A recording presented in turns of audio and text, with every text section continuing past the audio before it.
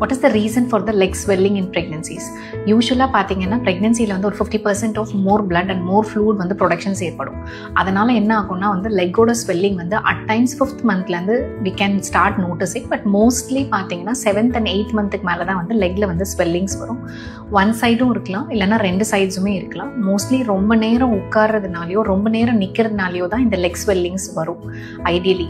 apart from the